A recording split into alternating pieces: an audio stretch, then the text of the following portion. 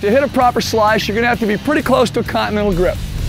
So for those of you who have a big one-handed backhand, a big grip, uh, one hand good enough usually. Uh, you missed it. Now the wind's pushing that way, so remember, when the wind, you're playing in wind, you bring it in a little bit, let the ball work. Can I hit this shot down the line safely?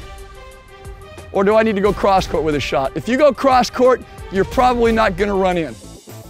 I'm aiming about two feet in the middle of that a two foot line down there.